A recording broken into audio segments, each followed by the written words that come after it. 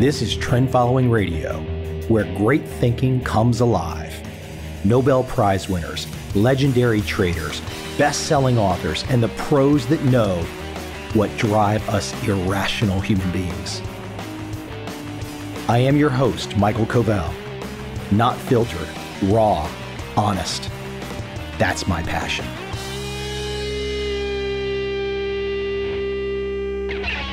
Now, this is a first for this show. I never expected to be going down this particular path. But my topic today is probably one that everybody out there is going to have an interest in. My guest, Bruce Greyson, is professor emeritus of psychiatry and neurobehavioral sciences at the University of Virginia.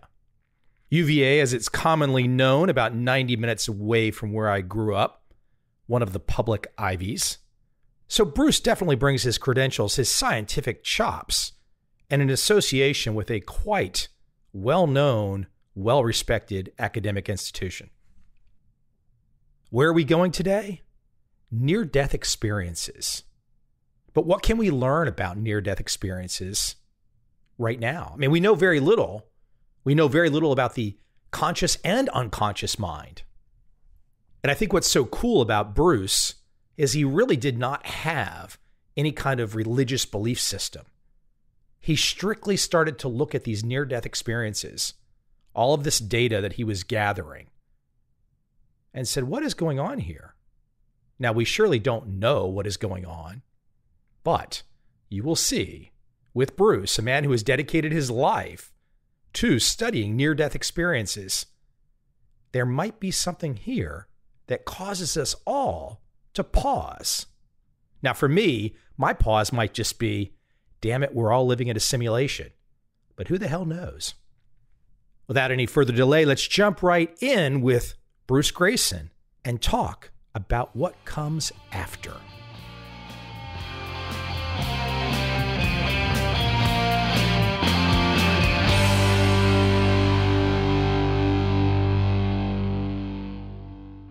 Going through your world, I think one of the optimum places to start is to bring people into an understanding. I was writing this down. It's like, okay, if I was to read your current position, professor emeritus, psychiatry and neurobehavioral sciences at UVA, University of Virginia. I went to George Mason right down the street. This is a pretty big title. I mean, this covers a lot. So we're about to go into a topic area that is just a wow. So why don't you take me back in time? I saw one video with you and it was just great how you introduced it. A young lady named Holly. And I would love you to tell that story because my audience doesn't know that story. It's a great story because it, it brings us into your world. It does, Mike. Let me give you a little background. I was raised in a scientific household where there was never any talk about anything non physical, anything spiritual or religious. It just never occurred to us to talk about those things. As far as we knew, the physical world was all there was. So I went through college and medical school with this purely materialistic mindset. What you see is what you get, and there's nothing else. When you die, that's just the end. And that was fine with me.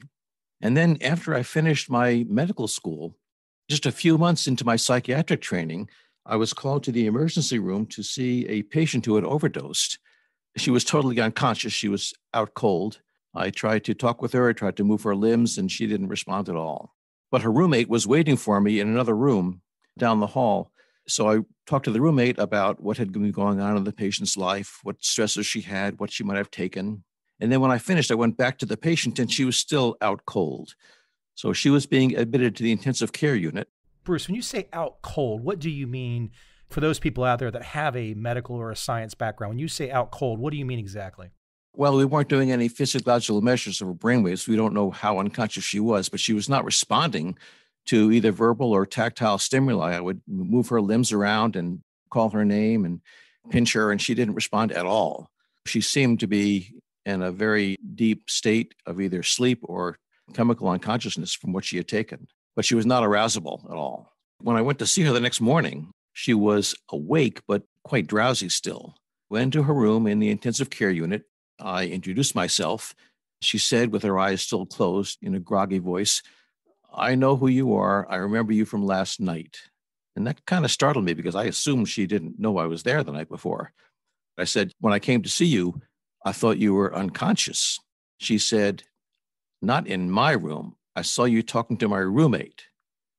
Well, that kind of threw me because I couldn't imagine how that could be.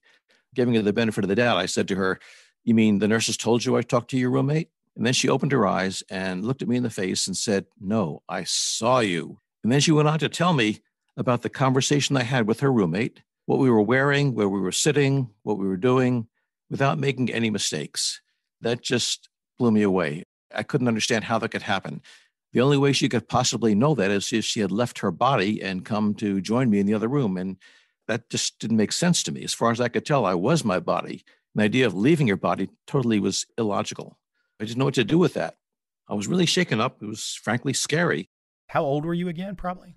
I was about 30, a very green intern in my first few months of post medical school. But I mean, a hardcore scientific method guy.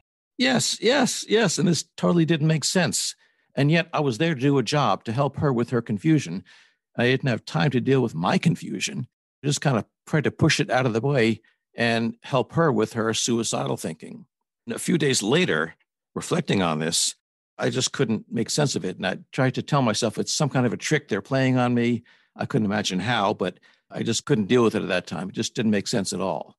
And it wasn't until several years later that Raymond Moody wrote his book, Life After Life, which gave us the term near death experiences and described what they were like. Moody was working with me at that point. I read his book and talked with him and realized for the first time that this experience I had with this one patient was not one isolated incident, but it's part of a huge phenomenon that was quite common. I still couldn't understand it, which to me, as a skeptical scientist, meant you need to understand this. You need to move toward it, not away from it. So I tried to understand it. And here I am 50 years later, still trying to understand it. There's a lot of thoughts that go through my head, and just to touch with some issues out there. Recently, I've paid attention, and these are just kind of random thoughts, but they kind of go into the issue of how much we don't know about the mind and, frankly, the brain. One of them, for example, are some of these people that have the memory that allows them to remember every day of their life. One of the actresses that used to be on the old taxi show has that ability. Another issue that I think is really interesting for me too, for example, when you look at octopus, octopus, their tentacles and whatnot also have elements of thinking or whatnot. And a third thought I would throw out there I had actually George Mason, economist, on this show, guy quite well known, guy named Robin Hanson.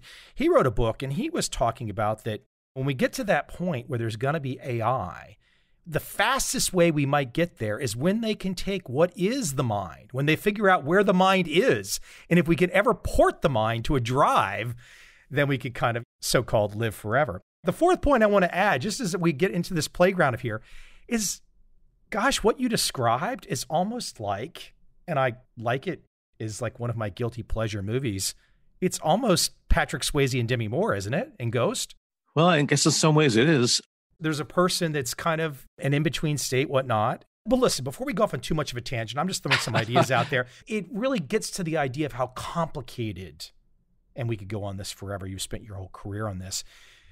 But give me another example. There's another guy, just to let people know. So let's just get some other examples on. There's a guy named Al Sullivan that I saw you tell this story. I thought that was an amazing story. Why don't you tell the Al Sullivan story so we can start to build here? Yeah, that was even more impressive to me. I mean, the first one with that patient, Holly, I didn't know what I was doing at the time. I didn't know to ask her about other things that might have been happening as part of that experience. She was lost to follow up very soon. So I really didn't have a lot of information about that. And it was easy for me in retrospect to say, I'm misremembering it or it didn't really happen or something like that. But Al Sullivan was quite a different issue. This was about 25 or 30 years later when I knew a fair amount about near death experiences. And I met Al. He came to a support group we had for near death experiencers. And he was a 55 year old man who was a truck driver. He said that he had had a crushing chest pain and as a result of that was taken to the hospital and had emergency quadruple bypass surgery, replacing four vessels around his heart that had shut down. During that operation, he said he left his body, watched from above as the uh, doctors were operating on him. And he said he was stunned to see his surgeon flapping his arms as if he was trying to fly. And he kind of demonstrated that by wiggling his elbows. that didn't make sense to me. I'd been a doctor for about 30 years at that point. I'd never seen or heard of anything like that. You don't see doctors on TV shows flapping their arms like that in the middle of an operation. So I assumed that this was some sort of hallucination, maybe due to the anesthesia he'd been given. But he insisted that this was real. And he mentioned a few technical details that he had seen that could be corroborated. So, with his permission, I talked to his surgeon. And his surgeon, to my surprise, corroborated everything that Al had said. He said that he had developed this idiosyncratic habit. He would get gowned and gloved in this sterile gown. And then, while his assistants were starting the operation, and then he would go into the operating room and watch them for a while and supervise them. And he didn't want to touch anything that might not be sterile. So he placed his palms where he knew they wouldn't touch anything flat against his chest and then pointed things out to his assistants by using his elbows rather than his fingers so he wouldn't touch anything. And he demonstrated it looked just like Al was saying. It looked like he was wiggling his elbows, like as if he was trying to fly. Quite startling to me. This was something that the patient should not have been able to see. His eyes, of course, were taped shut for the operation so they wouldn't dry out. And yet he saw this. And it's not something that he could have guessed. It's not something that you would think a doctor would be doing. And yet it was completely accurate. When I saw you tell those two stories, it just causes any curious person to stop. I have to say, I did not actually have any kind of negative feeling. My first thought was, wow, okay, if Bruce is telling me these two stories, more than likely, given his background, he's got thousands of these stories. That was my first. I was like, and if he's got thousands of these stories, then I mean, I guess we've all got busy lives and whatnot, but the fact that we don't know more about this or that we don't hear about this on a regular basis is an interesting thought to me, too. It is. And not all of them are corroboratable.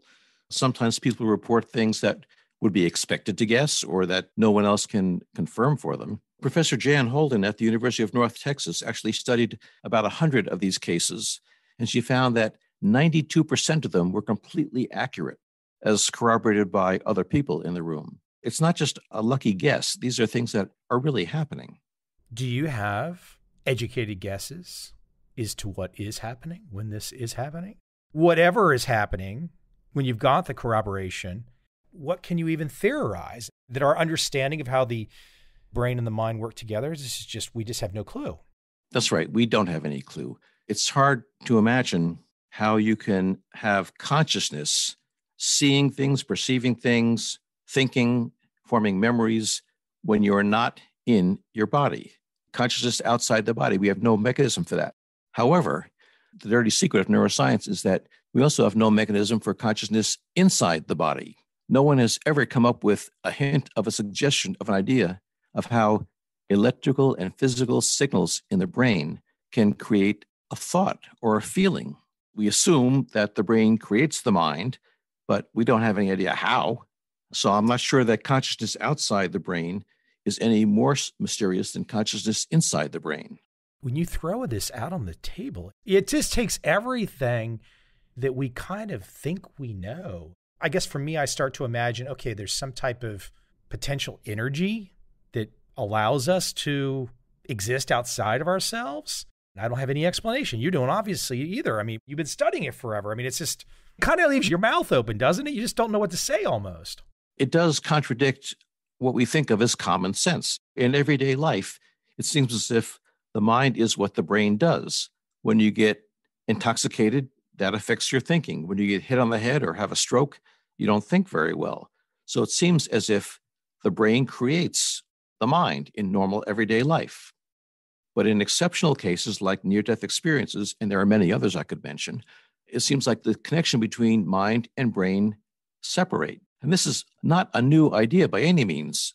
2,000 years ago, Hippocrates wrote that the brain is the messenger or the interpreter of the mind.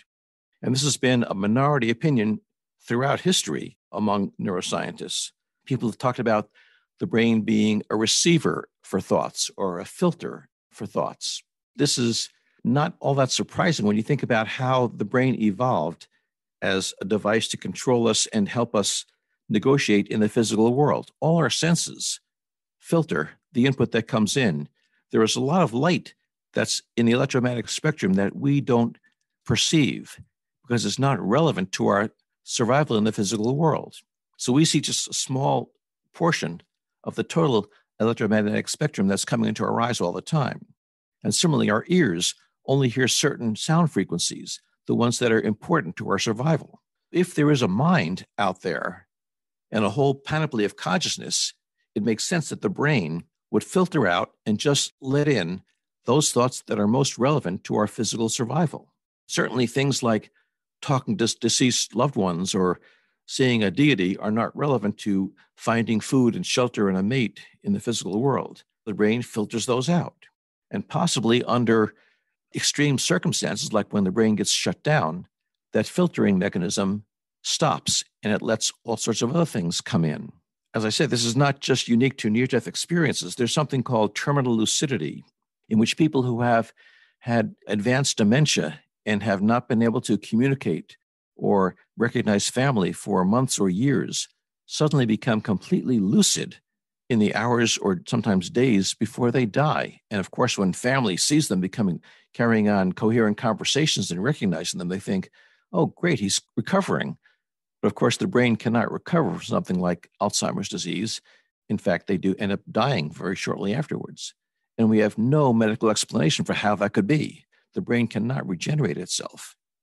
Given your position, your status, your achievements, your being at UVA, and just to remind people, University of Virginia, basically a public Ivy. This is one of the best schools in the world. People clearly know of you and your work. As far as I can tell in your work, you are putting these examples out there. You're putting this research out there, and you're you're not saying you necessarily have any explanation, but you're saying, look, here are things that are happening. We can't ignore these things. We're scientists. These things are happening. Do you have critics that attempt to explain away some of the examples that you put out on the table, like you have so far in this conversation? Of course. I sympathize with that because I was raised with this materialistic mindset. And for many, many years, I tried to figure out what is going on in the brain to create or cause these experiences. I eventually came to the point where I decided that the materialistic models just are not cutting it, and there must be some plausible alternative. The most obvious alternative is that there is a brain, a mind that exists somewhere else outside the body. The brain kind of receives thoughts from it. Now, that raises all sorts of questions about what is this mind? Where is it? How does it communicate with the brain? And I have no answers for those. It, there are huge holes in that theory. But there are also huge holes in the theory that the brain creates the mind, and they're equally implausible. So I think we just don't have an explanation for this right now. I think that's what I like about what you're doing is you're basically saying like hold on, we're making a lot of assumptions about brain mind already. And then here we've got all these other examples over here that you don't want to consider, but these things have happened. And then when you put it all on the table, then it does force us all to stop for a second, pause, and say, gosh, we don't know anything. Yeah. You asked about critics who try to find explanations for it. I do that myself because I want to find an explanation for this.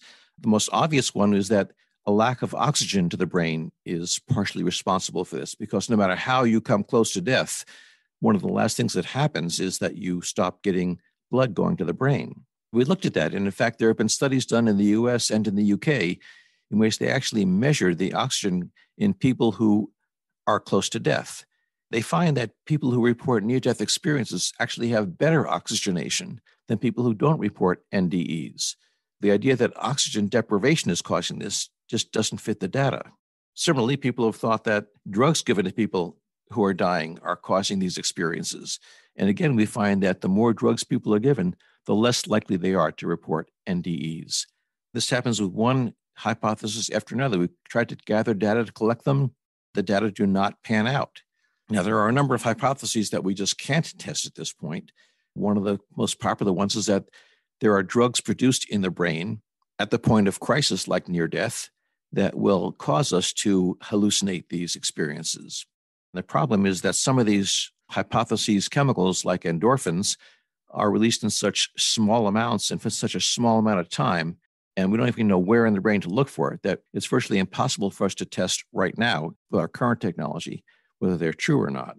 I think one of the things, and I brought this up earlier with the lady that used to be on Taxi and a lot of other people with memory going back, it strikes me in a comparative way to your work because If these people, I mean, perhaps they have some type of a defect, but if they have a defect, what is that defect? It seems to be an interesting one that they can remember every day of their life and what was going on in that particular day. Sure speaks to me when I see that example and I see what you're talking about, where your research has gone. They seem to connect in a way where it's like, mm, we don't know what our full capacity is. That's right. I think you're right that it is a defect that allows them to do this because it's adaptive for us as animals to forget things that aren't currently relevant. If you try to remember where you parked your car, it doesn't help to remember every time you've ever parked the car in the past. You want to forget all those past times and just remember the most relevant. The fact that you can remember everything in your life is a problem for a lot of people if they if they have that. So the question would be also for those particular people when those memories first come in, if they have that quote defect, when those memories first come in, are they encoding them differently inside the mind or are we all taking all these memories in and they're all dormant somewhere and we don't have the ability to access them, but they're all there? Those are great questions and we just don't have answers to them. Not even a sniff of an answer on those kinds of no, things. No, no. That's going to keep people busy for a long time trying to figure these things out, right? I mean, yes, it is. It is. Is there even a pathway in terms of research? Because I'm sure you do this. You imagine what the research might look like a century from now. Where would we be a century from now? Will we be any closer? I certainly hope we are. Science progresses in a kind of a slow way. Each generation of scientists thinks they have the answer, and then the next generation looks back in amusement at what the previous generation thought. 100 years ago, we would have never have thought you could do functional imaging of the brain the way we do it now. And I'm sure that we can't imagine what's going to happen in 50 or 100 years in terms of our ability to investigate what's going on in the brain and the mind. It is progressing as you said, we know we're still looking. Recently, I was part of a multinational group that looked at a comparison between accounts of near death experiences and accounts of psychedelic drug trips. We used around 800 narratives from my collection of people describing their near death experiences. And then we collected 15,000 examples of people reporting their psychedelic drug experiences with a variety of agents. We did statistical analyses of the words and the word usage to find which drugs produce experiences that were most like the near death experience. And as it turned out, the one that came closest to the NDE was ketamine, a dissociative anesthetic. Second was DMT, dimethyltryptamine, and third was salvia or sage. We were hoping that this would give us some clues as to what neurochemical pathways in the brain might be related to experiences like near death experiences. And as it turned out, these three drugs that were the most common work by very different pathways in the brain. Ketamine works on the NMDA receptor and, and glutamate. DMT works in serotonin mechanisms. So it didn't really help us look at what's causing these experiences in the brain. Furthermore, these experiences are not exact duplicates of near death experiences, they're rough approximations of them. So we're not sure whether we're really dealing with the same phenomenon or not. People who have had both psychedelic drug experiences and near death experiences tell me that they are not the same thing. There are just so many words we have to describe these basically undescribable experiences. So we tend to use the same words. As an example, if you were to ask someone who's been in combat to describe what they saw and heard and felt in the middle of a battle, and then ask someone who was watching a war movie to describe what they saw and heard and felt watching the movie, they would use a lot of the same words, but nobody would think they were the same experience. And they say that drug experiences have the same relationship to NDEs. You describe them the same way, but they're not the same thing. One is a poor copy of the other. Are there other examples? We've gone down the Holly example and we've gone down Al's example. Is there another example or two that you think of that maybe you don't use a lot, but you've had so many examples in your career to just kind of bring people into another moment where people kind of go, well, that's unexplained. That's unusual. One of the common features of near death experiences is what seems to be an encounter with deceased loved ones. Maybe a third of people who have near death experiences will report seeing deceased entities, and they're often identified as deceased family members or friends. And it is fairly easy to dismiss those as just wishful thinking or expectation. If you think you're dying, of course, you want to be welcomed by people who have gone on before you. So you imagine them. But there are a number of cases in which people saw or claimed to have seen deceased loved ones who were not known to be dead. That eliminates the idea of expectation. Now, let me give you an example of this. This was a 25 year old technical writer who was hospitalized with severe pneumonia, and he kept having respiratory arrest episodes where he couldn't breathe. And in the hospital, he had one particular nurse named Anita who was working most closely with him. And they developed kind of a friendship over the days he was there. And at one point, she told him that she was going to be away for a long weekend. He bid her goodbye and she left. And shortly after that, he had another respiratory arrest episode in which he had a near death experience. He found himself in a pastoral setting, very calm and very peaceful. And then he saw this nurse, Anita, walking towards him. He was startled. And so he said, Anita, what are you doing here? And she said to him, This is where I am now, but you can't stay here. You need to go back. And I want you to tell my parents that I love them very much. And I'm sorry I wrecked the red MGB. And then she turned and walked away. Not too long after that, he came, found himself back in his body, having been resuscitated, with complete memory of this near death experience. And he told the first nurse that he saw about it in a very excited manner. And she started to cry and left the room. Well, it turned out that this nurse, Anita, had taken the weekend off to celebrate her 21st birthday with her parents who had come in from the country. And they surprised her for her birthday with a red MGB, which she promptly jumped in, took off for a drive, went down the hill and lost control of the car and smashed into a telephone pole, dying instantly a few hours before this patient's near death experience. Now, there's no way he could have known or expected that she had died. She was a healthy 21 year old, and he certainly couldn't have known how she died, and yet he did. About a decade ago, I published a paper with dozens and dozens of cases just like this, some going back to the ancient world. Pliny the Elder in the first century documented a case like this. And we have lots of other cases from the 19th century and the 20th and today.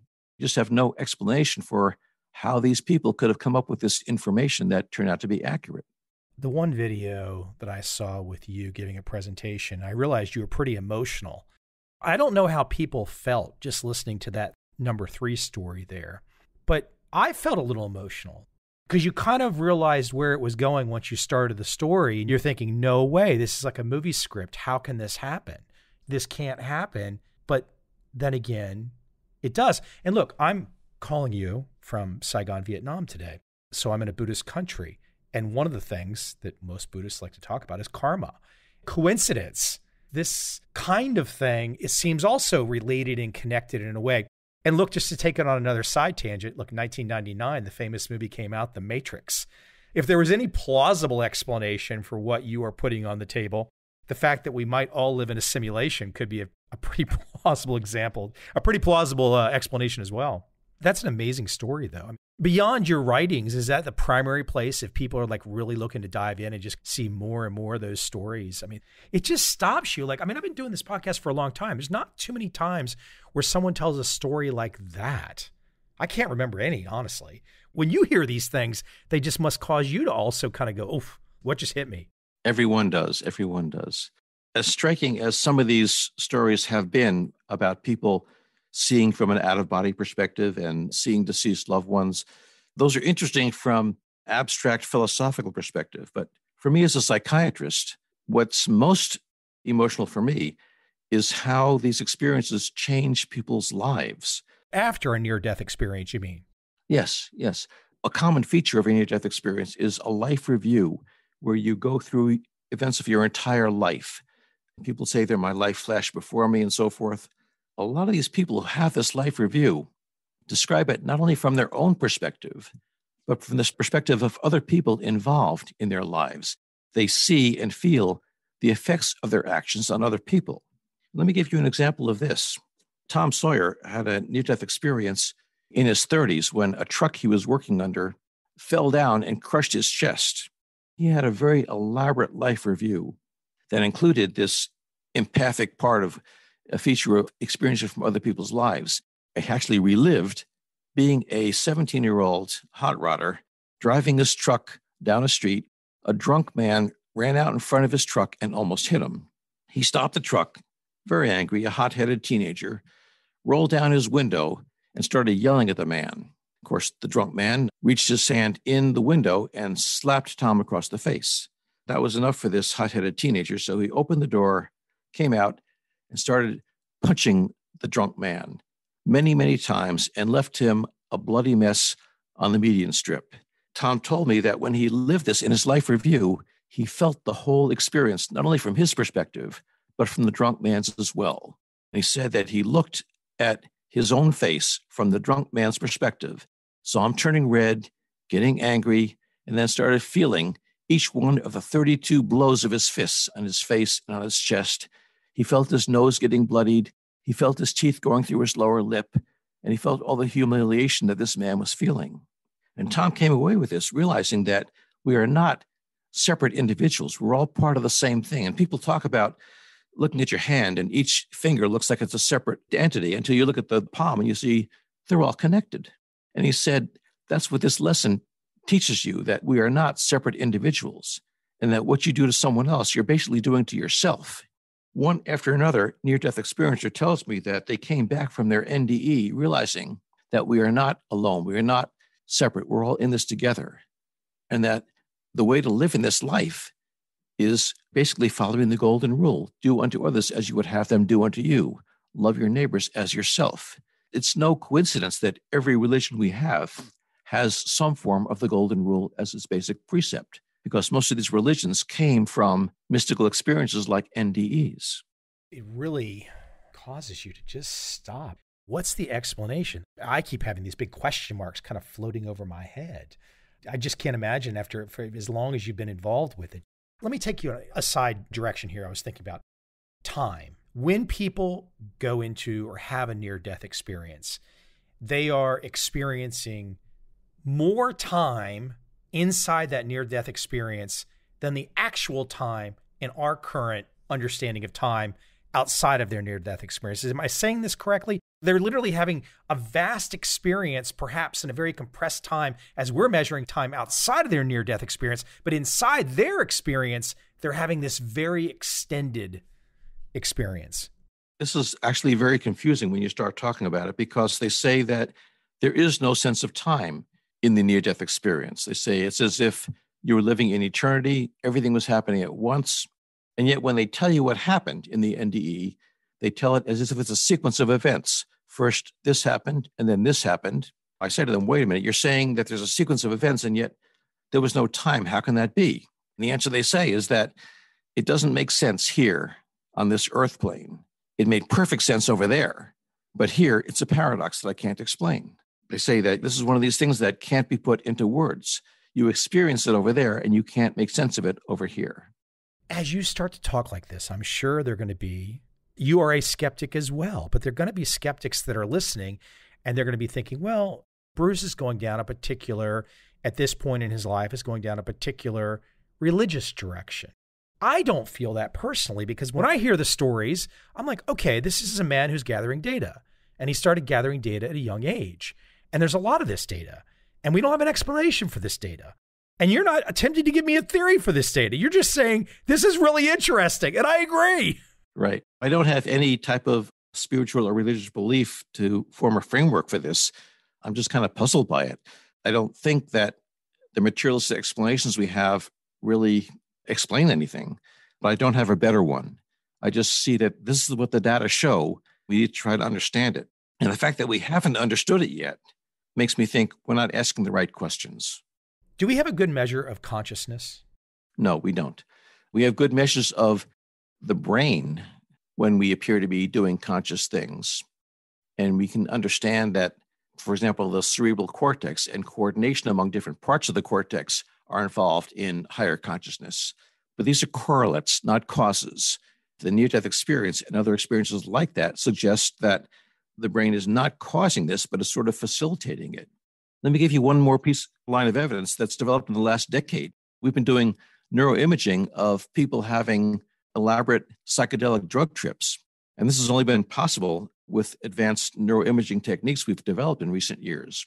And studies done at Johns Hopkins in the US and at Imperial College in London have consistently shown that when people have more elaborate mystical experiences during psychedelic drug trips, they are associated with a decrease in brain activity. We assumed that these drugs work by stimulating the brain to hallucinate. And what we find is the exact opposite. It tends to shut down the brain to make it quieter. And then you have the more elaborate experiences. So, again, there's evidence that the brain is not causing consciousness.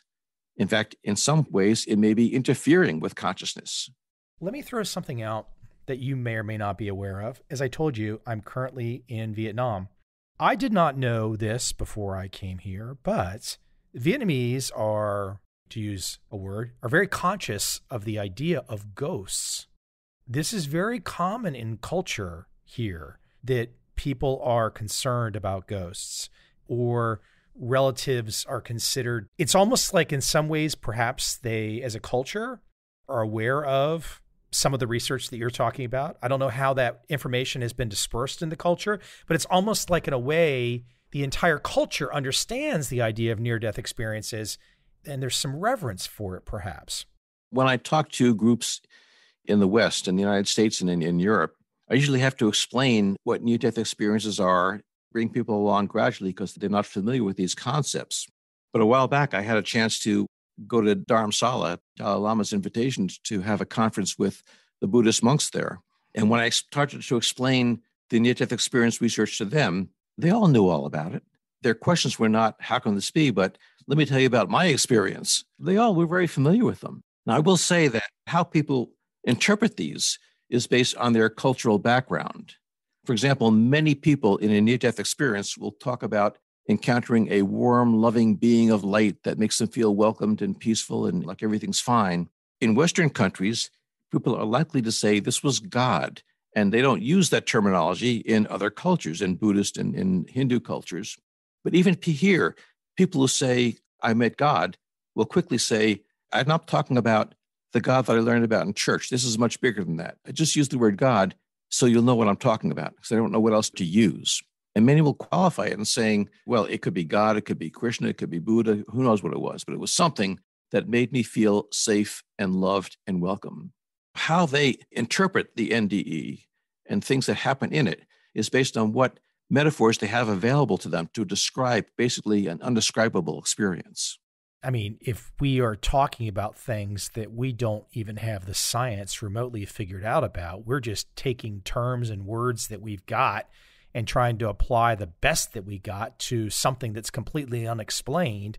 To think that our words that we currently have access to and our understanding that we currently have, that somehow or another that's going to all match up and we're going to call it correctly. That's kind of wishful thinking, right? Exactly. Yeah. I'm fairly convinced, although I'm positive from all this evidence, that death is not the end of our consciousness. If the mind can function when the brain is not doing very well, is it plausible that the mind can function after the brain dies? Well, the evidence from some of these near death experiences suggests that yes, it can. It continues. What form that takes is a complete mystery to me. People describe what happened in this other realm, but they're describing it metaphorically. And I don't take any of it as literal descriptions. I'm prepared to be very surprised if I do find myself surviving. One thing they do consistently say is that however you describe this afterlife, whatever it is, it's not something to be feared. It's not something that you should be afraid of or dreading. It's pure science fiction in my mind when I start to think about it. It's like, okay, if the body and the brain are ultimately not important after death because you were giving examples of people outside of the body, the mind, the consciousness is somewhere else in some other realm, perhaps. I think what's interesting when you put some of these examples on the table, and again, people are going to have to go check out the book, the new book after, but when you put some of these examples on the table, again, I'm sure you've got thousands and thousands of these examples, and you you mentioned talking with the monks and whatnot. There's just so much we don't understand, which is just fun and fascinating all at once. We are just in our infancy of studying the brain. We don't have any idea how to study the mind people have been trying to do this. I mean, for 50 years, Charlie Tart has been trying to develop a technology for first person science of the mind. It's very difficult to even find words to talk about these things. So I think we're a long way from understanding what's going on here with the brain mind interaction. Yeah, this is one of those slackjaw conversations for me where I'm kind of like, you just don't know what to say in some points. This guy, Robin Hanson, had on the show. I loved his idea, though, that if we can get to the point, because I think it dovetails into where your world goes also, if we can get to the point where the mind can be ported, I guess we've solved everything at that point in time in some ways. If we can actually find out where the mind is, if the mind can ever be on a drive, so to speak, or then we will all find out one day that the mind is already on a drive, and that's the answer to what you're figuring out. Exactly, exactly. If you think of us as animals that evolved in the natural world, which we certainly are, at least in part, it's a mystery of even why we have consciousness. We've developed all sorts of computers that can perceive things and respond to things. And yet, as far as we can tell, they're not aware of that. They're not conscious of what they're doing. Why couldn't animals like humans have evolved without consciousness, just perceiving things and then automatically responding to them? We would be able to survive and reproduce quite well in the world without being aware of what we're doing, without having consciousness. So, where does consciousness come from and why do we even have it? We have no idea. I'm prone to check out YouTube videos that show evolution. Essentially, the fish crawls out of the ocean, becomes a rodent, becomes a monkey, becomes us. That kind of also dovetails into what you just said. Okay, where does the consciousness part fit in? Where does the mind part start? Because there's all these other animals that were out there kind of chilling out, doing their own thing. I don't know what's going on inside their mind. Maybe they have some kind of consciousness and they just can't talk. Who knows, right? We don't know. Now we've been able to communicate with apes, with dolphins. We know there is some form of consciousness in some of those animals as well, but how far down the evolutionary ladder does it go? Do insects have consciousness as we do? Do amoebas have consciousness? Do trees and grass have consciousness? We can't imagine what that would be. Let me keep you at the critics part for one more second as we wind down. I asked earlier, but what do some of the critics that really perhaps go after you. You seem like a nice guy, though, so I don't know how hard they're going after you. They don't have an answer, too. So I mean, I don't know how they can really criticize. I mean, they just tell you to be quiet, stop talking about that, don't look, don't be curious, guy. Well, I have heard that. I've had uh, chairman tell me, "Stop doing this work. You're embarrassing us. Study things that can be put in a test tube and measured." Interesting. I've made it my point for my entire career to publish this research in only the, the prestigious medical journals that go through peer review and therefore get respected when they're published. And that gives me some credibility. But I understand the skepticism because I don't want to believe this myself. And yet it's not honest to deny it. It's really happening. The bottom line of that many skeptics come to is they just don't believe it, period. They think you're making it up, you're being gullible, and it didn't really happen. And as a psychiatrist, I see the profound impact these experiences have on people's lives. I can't deny that this is really happening to them. Maybe something is happening. Let me pull on that string a little bit without you naming names. So you do have people in the academic community that will basically say, "Hey, Bruce, why don't you slow this one down? Let's walk this back a little." They don't want you to pull on that string. Of course, academicians and doctors are just like everybody else. Some think that this is the most fascinating research in the world, and some think it's a total waste of time and resources. And you just have to confront them and deal with the legitimate criticisms and dismiss those that aren't legitimate.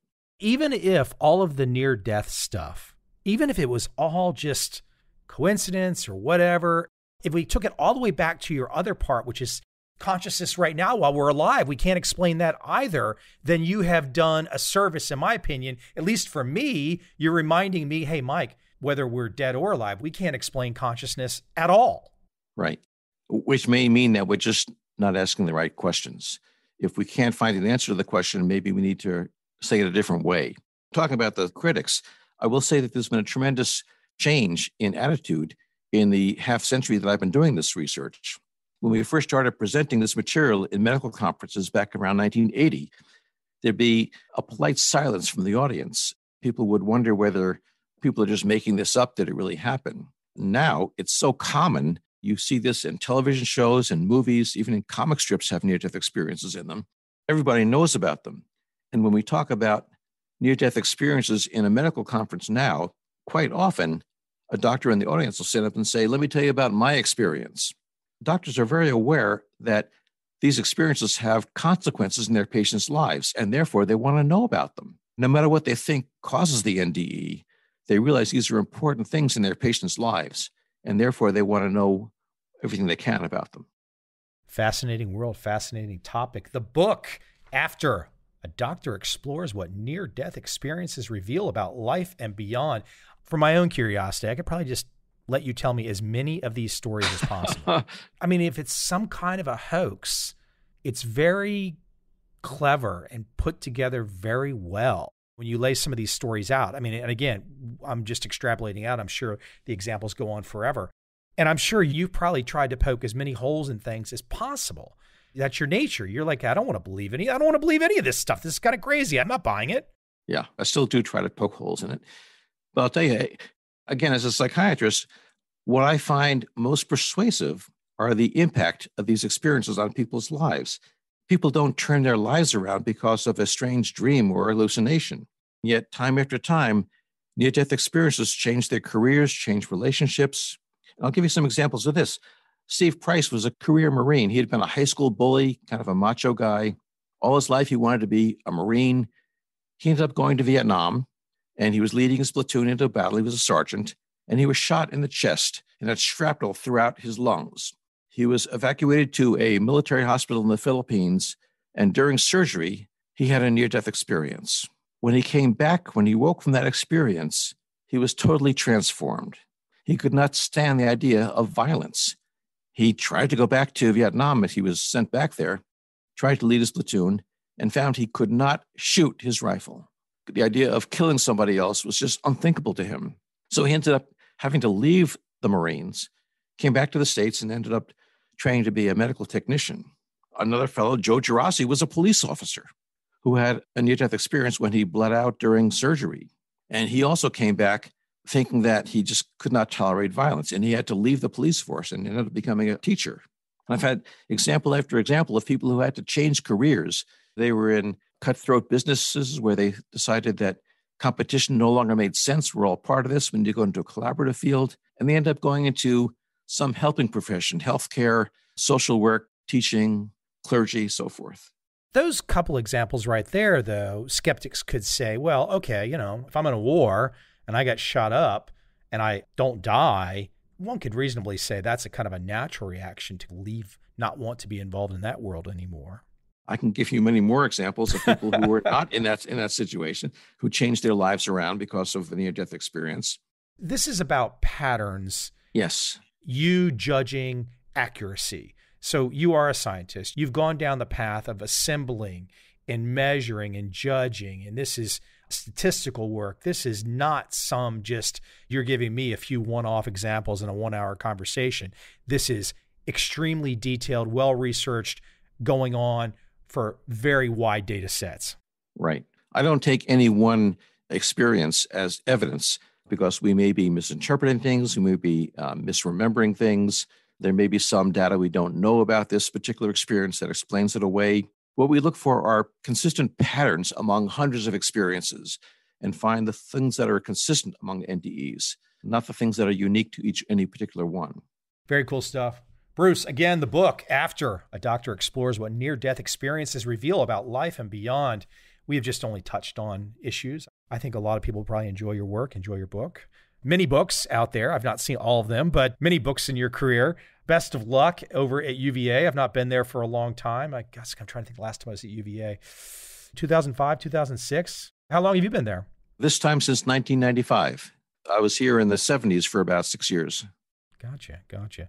What's changed about Charlottesville? Anything? Oh gosh, it's become much more cosmopolitan. It's much bigger than it was back in the 70s. Well, cool stuff. Hey, where can we direct people? Where would you like to send them to beyond Amazon to pick up the book and all that kind of fun stuff? They can check you out at the University of Virginia's website. Any other website you want to direct people to? Yes, I have a website, www.brucegreyson.com, and that's Grayson with an E, B R U C E G R E Y S O N.com there are a lot of resources there and links from there to other resources as well. Bruce, thank you for coming on. Well, thank you, Michael, for inviting me.